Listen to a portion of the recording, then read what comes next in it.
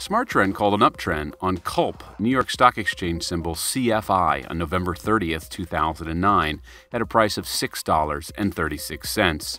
In approximately one month, CULP has returned 76.9% as of January 5th's closing price of $11.25. Trade your way to success today with SmarTrend. Click below to claim your free two week trial of SmarTrend and start trading your way to success today.